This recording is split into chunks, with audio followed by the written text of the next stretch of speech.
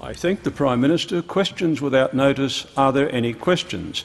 I call the Leader of the Opposition. Thanks, Mr Speaker. And my question is to the Prime Minister, and I refer her to Treasury modelling that shows that the carbon tax will cause a $32 billion hit to the Australian economy and a $600 a year cut in real wages by 2020. And I ask, why did the Prime Minister break the promise she made to the Australian people at the last election, namely there will be no carbon tax under the government I lead? The Prime Minister has the call. Thank you very much, Mr Speaker. In answer to the Leader of the Opposition's question, it is clear that he means to go on as he did in 2011 with misleading claims and continued negativity as we ready our economy for the future, including for a clean energy future. Mr Speaker, the figures referred to in the Leader of the Opposition's question are another attempt by the opposition to mislead the Australian people. Treasury modelling shows, and the opposition is aware of this, that under a carbon price our economy will continue to grow. Jobs will grow, with employment expected to increase by 1.6 million jobs by 2020. Real wages will grow by 20 per cent by 2020 and 50 per cent by 2050. Incomes will grow gross national income per person will be 9 per cent higher in today's dollars in 2020 with a carbon price in place. Vitally, carbon pollution will fall. By 2050, carbon pricing is expected to reduce Australia's domestic emissions by nearly half of what they would have been projected to be without a carbon price. The price impacts will be modest, a one-off increase of 0.7 per cent uh, in CPI. And of course, we also know that the carbon pricing package comes with the benefit of tax cuts for working people, for working people earning less than $80,000 a year, uh, many of them receiving a tax cut of $300. And then, of course, there will be Australians around the nation who no longer pay tax anymore as a result of us increasing the tax-free threshold, and there will be increases in pensions and there will be increases in family payments. Now, behind this debate, Mr Speaker, is the essential question of whether or not you want our nation to stand still or be ready for the future. It is a fundamental choice. Well, we have made it. We are getting our, ready, our nation ready for the future, and that future will require us to have a cleaner energy economy. And in getting that cleaner energy economy, we are determined to do it at the lowest possible cost and the lowest possible price. The Leader of the Opposition stands for a policy which would impose a burden of $1,300 on working families, a policy that will not work, and he stands for ripping tax cuts, family payment increases and uh, uh, pension increases out of the hands of Australians who need that money. This is more of the reckless approach we've seen the opposition take to all of its economic settings whenever it faces a choice between getting ready for the future or standing still, it says stand still. Whenever it faces a choice about running the economy in the interests of working Australians, it says let's help the privileged few whenever it faces a choice about making sure our economy is clean and ready for the future, it spreads fear and distortion, and today's question is just more of that. Uh, I, the Leader of the Opposition on a supplementary question. To, to the Prime Minister, a very simple question. Does she accept that the imposition of a carbon tax will reduce economic growth as the Treasury modelling clearly shows. Prime Minister.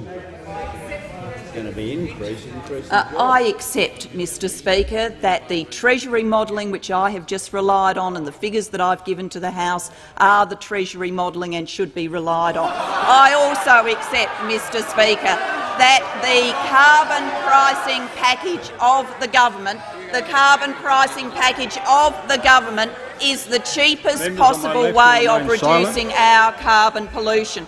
So when you want to talk about a drag on our economy, when you want to talk about a burden on working families, then you would endorse the policy of the Leader of the Opposition. Let's have a look at the policy of the Leader of the Opposition, seeing he invites the comparison.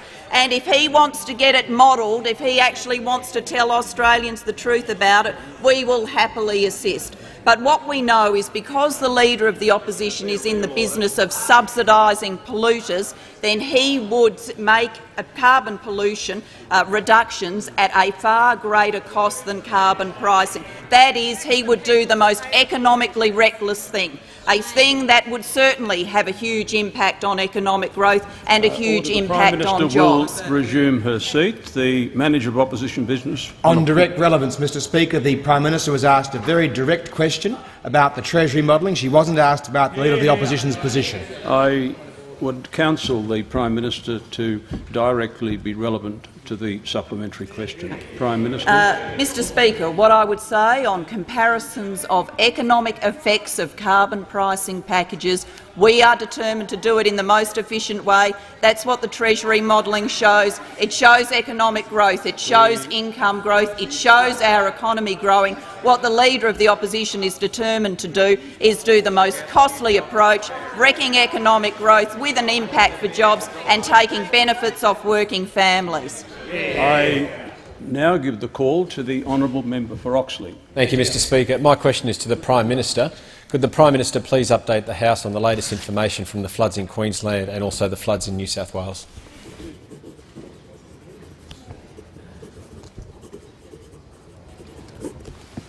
Prime Minister has the call. Thank you very much, Mr Speaker, and I thank the member for Oxley for his question. And of course, uh, his region suffered flooding uh, last year, and I've had the opportunity to attend with him uh, and also with the member for Blair some commemorative events uh, marking the suffering and loss that we saw last summer. Uh, Mr Speaker, unfortunately it is a sombre ritual that whenever this parliament comes back together at the start of a year, we have something to reflect on that has harmed our nation in the time in between. Three years ago, we came together, and of course, this House was devastated by the Victorian bushfires, and we felt the pain of Victorians and the pain of Australians in those dramatic and destructive events. And then last year, we paused to reflect on all that we had lost in the summer of natural disasters as it had hit so hard into Queensland and in other parts of the nation, including Victoria.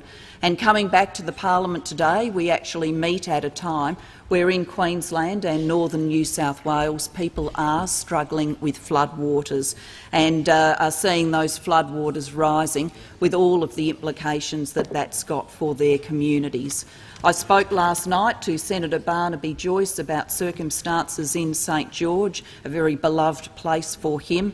Uh, I have visited St George myself. I visited last time uh, during the flooding. For many of the families there, this is the third time that they've faced flooding. Uh, last year, when I visited there, I met people who were worried about flooding then, who had only just got their homes back together following the earlier flood, and now, of course, those same individuals are seeing flood waters threaten. Uh, so we know that right around uh, those parts of Queensland and into northern New South Wales, there are people who are doing it very tough indeed, and our thoughts are with them. Uh, Mr Speaker, in these circumstances, we've made available the resources of the ADF they did such remarkable work last summer, and some of those resources have been deployed again, including fixed-wing aircraft and helicopters. And I think people would be well aware of the work that uh, both can do in times of natural disaster and some of the very dramatic, indeed heroic things that helicopter crews did last summer. Uh, we have been asked by Premier Bligh in respect of Queensland and Premier O'Farrell in respect of New South Wales to join with them under our natural disaster arrangements in making available Category C assistance. That means that there will be assistance for small businesses and primary producers, and the triggering of that Category C assistance also means that for those areas we have triggered the Australian Government Disaster Relief Payment, which is an emergency payment of $1,000 per adult and $400 per child. Uh, now, these have been triggered in various shires in Queensland and New South Wales. So for anyone who is interested in very specific information about their own circumstances, I would advise them to ring 180 2266 to get help and advice. And, Mr Speaker, I'm sure as we sit this week, uh, we will be thinking about our fellow Australians who are in those circumstances, some in evacuation centres, some very anxious indeed, and our thoughts will be with them. I, on indulgence, the Leader of the Opposition has the call. Mr Speaker, on indulgence, uh, may I uh, uh, note uh, what the Prime Minister has said is being done by the government and may I express the thought that, uh, as well as Senator Joyce, this will be of great interest uh, to the member for Maranoa and also to the member for Parkes. when I spoke to the member for Maranoa last Friday, he was helping his community to prepare sandbags in Roma. when I spoke to the member for Parkes last Friday, he was readying his truck and his bobcat to help with the clean-up uh, it's good that the government uh, is institutionally uh, coming to help these people, uh, as local members uh, have been doing on the ground over the last few days. I now call the honourable member for Menzies. Thank you, Mr Speaker. My question is to the Prime Minister. I refer the Prime Minister to her breach of the written contract she made with the member for Denison to introduce mandatory pre-commitments for poker machines by May of this year. And I ask, will the Prime Minister, and I ask, and I ask, will the Prime Minister guarantee that she won't break any more promises this year? I call the Honourable the Prime Minister. Uh, thank you, thank you very much, Mr. Speaker. And in answer to the member's question, let me say this: we will silence. bring to the Parliament the biggest package of changes for problem gambling ever enacted by a national government or national parliament in our nation's history.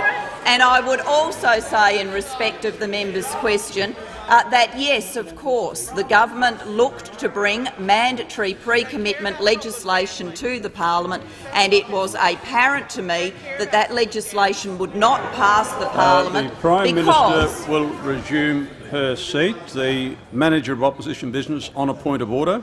Mr Speaker, the Prime Minister was asked a very straightforward question as to whether she will promise not to break any more promises in 2012. If she can't make that promise, she should resume her seat. The Manager of Opposition Business would have listened to the question as I did, and the question included a reference to a mandatory pre-commitment uh, and problem gambling. The Prime Minister is addressing the question, and I'm sure that she will address all of the question uh, during the period that she has. Speaker, the Prime Minister I has would the have thought that every member in this parliament would think problem gambling is a serious issue, worthy of consideration, and the bringing to that consideration of a serious demeanour given the number of Australians who actually suffer, sometimes with the cost of their lives through suicide as a result of problem gambling. Mr Speaker, we will bring to this parliament the biggest package of change a national government has ever done in relation to problem gambling. Yes, of course, the government worked with Mr Wilkie on mandatory pre-commitment, and it became apparent that such legislation would not have got through this chamber, in part because the opposition would not vote for it. So it seems to me quite remarkable indeed that any member of the opposition who would have come in here and voted against such legislation now comes into the parliament to raise the issue of that legislation. The opposition was opposed to it. We will bring to this parliament changes that can secure parliamentary support because, Mr Speaker, when faced with a choice of doing nothing or getting something done that will matter to families around the nation, well, I'm for getting something done. And what we will get done will make a practical difference in the lives of Australians who struggle with problem gambling. Now, I know, due to its re relentless negativity, due to the leadership of the Leader of the Opposition, that the demeanour of the Opposition on any proposition for change is to say no. They don't want our nation ready for the future. They don't want working families to get a package of policies that benefit them. They don't want to support jobs. They don't want to build the new economy of the future, and they certainly didn't want to do anything to support uh, Australians in need as a result of problem gambling. I think the test that will face the opposition is when we do bring this legislation to the parliament, where will they vote? What will they do? Or will we see the same kind of hypocrisy on display then that we are seeing on display now? I, I call uh, the honourable member for Parramatta. Thanks, Mr Speaker. My question is to the Prime Minister. How is the government building the Australian economy of the future and governing in the interests of working people? Call the Prime Minister. Thank you very much, and I thank the member for Parramatta for her question. Mr Speaker, the single biggest debate that we will have in this parliament over this 12 months will be about the economy. It is a debate that requires you to make some fundamental choices, a debate that requires you to define who you stand for, who you stand with and who you seek to benefit. We as a government have made our choices. We are determined to stand up for the interests of working people. We are determined to add to the package of policies we have already enacted to support working families. Of course, those policies include uh, the paid parental leave scheme that the government has brought into existence. They include putting more money into supporting families with the costs of childcare than ever before. They include our focus on early childhood education and schools and, of course, making sure that people can get better health care services. They include the tax cuts that we have delivered so far. They include the changes that we have made in various payments, including through the pension, to support families at all stages of life, whether it be from the birth of a new child to when uh, mum or dad or grandmum or granddad requires the assistance of the pension. This year we will add to that package of policy new family payments arrangements for families with teenagers, tax cuts, pension increases, family payment increases, an expanded education tax rebate. Uh, until this government enacted it, there was not assistance with the cost of getting kids to school. Now we will broaden that assistance. At the same time, we will, we will be acting to build the new economy of the future. We delivered the foundation stones last year, and it wasn't easy, Mr Speaker, but it has been done. So we will seize a clean energy future. We will get working people a fair share of the resources boom underway in our nation. We will understand the changes happening in the global economy in the aftermath of the global financial crisis and as we see spectacular growth in our region. And we will seize those opportunities for Australia's future. I want us to come out a winner in this time of change in the global economy and in our region. We will deliver a new skills package. We will build on our education reforms because the economy of the future will require higher and higher and higher levels of skill. We will continue to roll out the national broadband network because yesterday's infrastructure is not good enough to build the, the new economy. and we will Sydney ensure will that it is a silent. diversified economy, one where mining is not the only source of strength, where we still have a manufacturing industry, where we still have people making cars in this country, where we still have a vibrant tourism industry, where we have a vibrant services sector. That is the debate of this year. It is about the employment of Australians. It's about their ability to get a job. It's about their ability to do that today and in the economy we will build for the future. On the other side of politics, we understand that in this debate they're standing still. They're the privileged interests of a few rather than the many working families who need to benefit from our resources boom. They're not moving to a clean energy future in any way that makes sense. They're ripping the national The broadband network out of the ground. will They're silent. education cuts in schools and to apprenticeships and beyond. Mr Speaker, this is the debate of 2012 and I'm very happy to say to the Leader of the Opposition, bring it on. I um, now give the call to the honourable member for Sturt, Manager of Opposition Business. Uh, thank you, Mr Speaker. My question is to the Prime Minister. I refer the Prime Minister to the Fair Work inquiry into the Health Services Union that is now in its fourth year, longer than the Watergate inquiry, longer than the Korean War, longer than it took to build Sydney's Olympic Stadium and longer than the duration even of the Rudd government, leading some to believe there's an institutional go-slow to protect her government. As the government relies on the member for Dobell to stay in office, can the Prime Minister Order. confirm that she still has full confidence will in the member for remain- Dobell? Will, remi- will, will resume his seat. The Leader of the House on a point of order. Yes, Mr. Question. Yes, Mr. Question. Standing. Order. order. I, I, I am trying to listen to the point of order being taken. The Leader of the House uh, on a point of order. Nixon. Um, standing Order uh, 100 provides for very clear, uh, no argument. That that uh, question was clearly out of standing, out of order, and should be ruled out of order, Mr. Speaker. The member for Sturt is not helping the chair.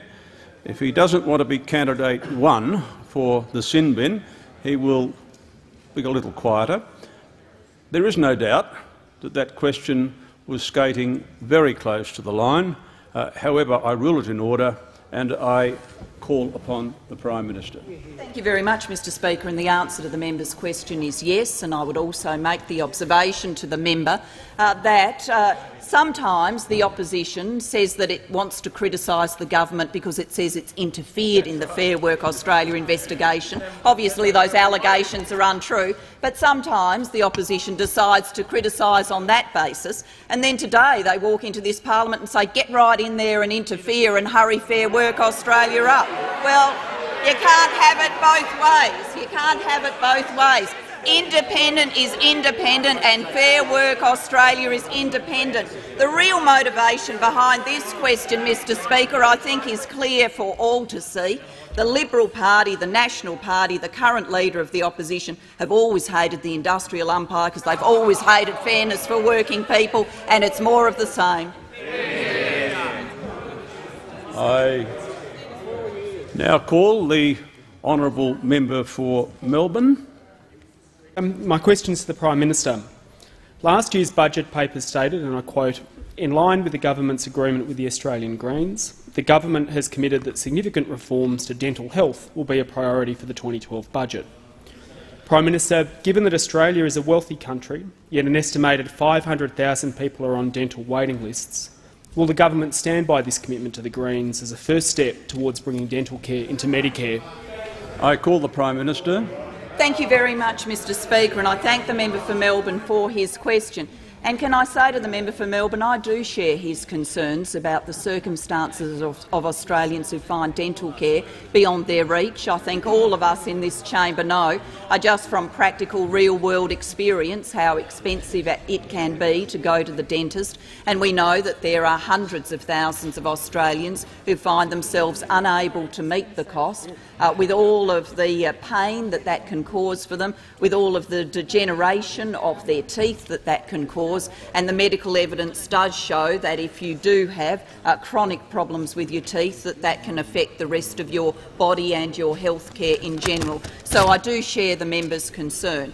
And because we have, as a Labor Party, had a long-standing concern in this area, of course we campaigned against the closure of the Commonwealth Dental Program by the Howard government. We thought that was the wrong thing to do then. It's still wrong today uh, to make those kind of choices and those kind of cutbacks, which the Leader of the Opposition, when he was Minister for Health, was famous for. We have taken an approach of building capacity in dentistry, both by providing new capital and by providing new investments in workforce. And I would uh, remind the House that we've delivered uh, practical improvements like subsidising around 1.5 million dental checkups for teenagers. We've provided $125 million for eight dental projects from the Health and Hospital Fund, delivering 220 new dental chairs. We've recently opened a $2.1 million 10-chair teaching dental clinic at the Adelaide Dental Hospital, and that will mean an extra 52,500 hours of clinical training over the next five years for undergraduate dental and oral health students. And we will invest $52.6 million over four years to support the dental workforce of the future through a voluntary dental intern program. Now, I believe that the member who asked the question would understand the constraints in the provision of dentistry are not only the resources in the system, it's the workforce, which is why these workforce investments are so important. Of course, uh, to the member for Melbourne and to you, Mr Speaker, I would want to see us do more. But as we weigh what we can do in the budget process, we will of course make the appropriate fiscal decisions Order. for the nation. Left. Now, I understand that that has caused those opposite who have got a $70 billion plan to cut services off working families uh, to roll their eyes because they've never understood what Including it's like to do the hard work to get a budget to add up. And of course, where they are is $70 billion coming out of working families and the services they need. So we will uh, keep uh, working, Mr Speaker, uh, on proposals for dental care. And in that regard, I believe, as the member for Melbourne would know, uh, we have uh, commissioned an expert body uh, to provide us with advice, and we have received that report. Uh, that was the National Advisory Council on Dental Health that we established. We're waiting for it to present its final report, uh, they have been working and we've received uh, some advice from them, but obviously we want the final report for government.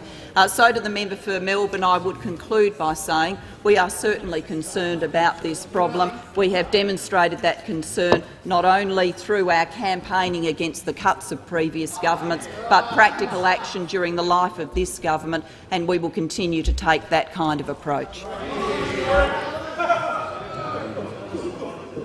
When members are quiet, I will give the call to the Honourable the Deputy Leader of the Opposition. Thank you, the, Mr Speaker. I've got uh, the call. Well, the Deputy Leader would assist the chair if she would resume her seat. Uh, the, the Leader of the House. Mr Speaker, the member for Corangamite was on his feet, was on his feet, and in terms of the process of the parliamentary question order, as those opposite know, it goes we have had now two opposition members in a row in terms of two on that side, two on that side of the, the chamber. The leader, it is now, according to House, standing orders, appropriate the, that a call. firstly, the deputy leader of the opposition will resume her seat, uh, as will the member for Corangamite. I'm listening to the leader of the House. Thank, thank you, Mr. Most Speaker. Intently in accordance with standing orders which require the call to be given alternately to either side of the House. The member for Corangamite was, in fact, on his feet. Well, yes, I, the member for Corangamite will resume his seat. I did not see the member for Corangamite.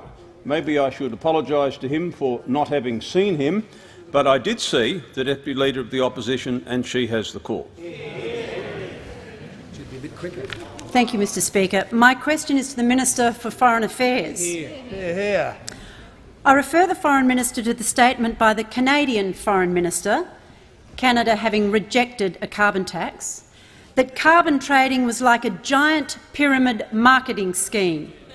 Can the Foreign Minister name any other countries imposing a carbon tax comparable to that proposed for Australia? The Honourable the Minister for Foreign Affairs. Thank you very much, Mr Speaker, and I thank the Deputy Leader of the Opposition for her question, because uh, this side of the House stands for putting a price on carbon. Those on that side of the House stand for putting their head in the sands and ignoring their national and global responsibilities. We're on about preparing Australia for the future. You're about burying Australia in the past. On the pricing of carbon, we should look to the Leader of the Opposition's multiple statements on his commitment to an emissions trading scheme, a tax at various stages. There's so many positions silent. that he'd make the Kama Sutra redundant. And, Mr Speaker, on the question raised by the Deputy Leader of the Opposition, multiple jurisdictions around the world have different forms of carbon pricing, and she should look at those juris jurisdictions to examine, examine each of the differences. And I could say to the Deputy Leader of the Opposition, we are on about putting a price on carbon. Get with the international project. I now give the call to the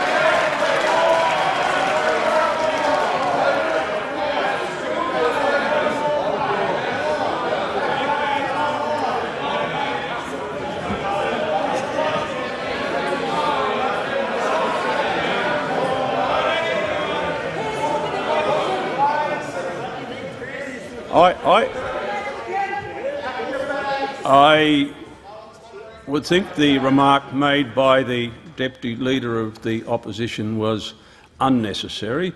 I've got all day to sit here to wait until the House is quiet before I give the call to the member for Corangamite, and now the House is quiet. The member for Corangamite has the call. Uh, thank you, uh, Mr. Deputy, uh, Mr. Speaker. My question is to the Treasurer. Will the Treasurer update the House on the Australia's strong economic performance in difficult global uh, environment, uh, as well as uh, the importance of putting in place reforms to support jobs and growth? The Honourable the Treasurer. Uh, thank you. I, I do thank the member for his very important question, Mr Speaker, because today the Independent Reserve Bank left the official cash rate on hold. Mr Speaker. This follows cuts to the cash rate of 25 basis points in both November and December. And in doing this today, the Reserve Bank has struck a balance between global uncertainty on the one hand and Australia's strong economic fundamentals on the other, Mr Speaker. Now, we understand that families are doing it tough, Mr Speaker, but mortgage rates are significantly below the level that we inherited from those opposite.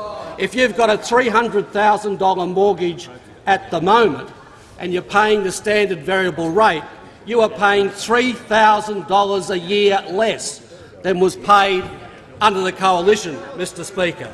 And it's very important, Mr Speaker, that we have continued sound economic management which can deliver strong growth on the one hand and contained inflation on the other. And the, strength of the fundamentals was pointed to today uh, by the Reserve Bank, Mr Speaker. They talked about the fact that China is still robust. They talked about the challenging conditions in Europe, although they've got a little better. But they are pointing to the fact that domestic growth is strong. And we're expecting through this year trend growth of three and a quarter per cent. Trend growth which supports job creation in this country, which has seen 700,000 jobs, Mr Speaker, created in Australia over the past four years. But of course a balance is to be struck, and as the Reserve Bank has said today, should demand conditions weaken materially, the inflation outlook would provide scope for easier monetary policy, because the Reserve Bank is acutely aware of the challenges to our economy from the global situation. But thankfully here we have unemployment at 5.2 per cent, half what we see today in Europe, and we are building on the strengths of our economy. And fundamental to that strength, Mr Speaker, is our determination to deliver a surplus in 2012-13. And we've seen the slapstick farce of those opposite today on the question of surplus, Mr Speaker. Yesterday the finance spokesman was out there running away from a surplus at 100 million miles an hour. The deputy leader joined him.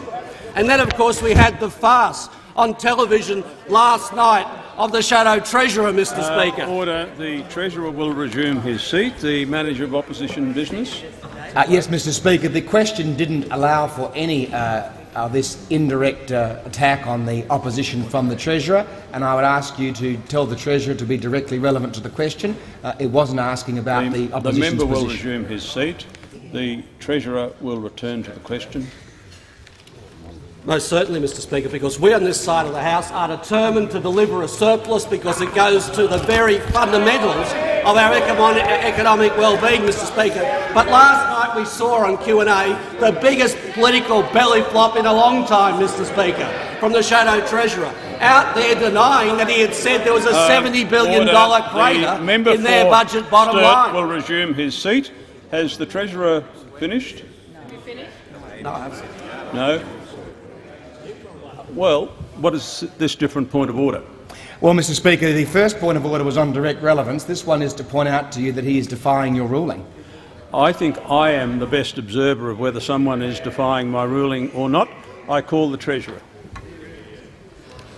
Yes, Mr Speaker, I was talking about the strength of our economic fundamentals. Mr Speaker, we have the AAA credit rating, the sovereign AAA gold-plated credit rating from the three major global credit rating agencies for the first time in our history, Mr Speaker. And it wasn't something that was ever achieved by those on that side of the House who go around the place talking our economy down, down every day of the week. And, Mr Speaker, we are determined to deliver tax reform to keep our economy strong. Those on that side of the House want to give a tax cut to Gina Rinehart and Clive Palmer, and they want to stop a tax cut, Mr Speaker, to 2.7 million small businesses around our country. To keep our economy strong, we need good budget policy, we need tax reform, and we need people who are serious, Mr Speaker, about good economic policy. What we've got on the other side is simply a rabbit. Uh, the, the, the member for North Sydney will resume his seat. Uh, Prime Minister. Uh, thank you very much, Mr Speaker. It being past uh, 3.30, I ask that further questions be placed on the notice paper. The, the honourable member for North Sydney will position. resume his seat. The honourable member for North Sydney will resume. The honourable member for North Sydney will remove himself from the House under Standing Order 94A.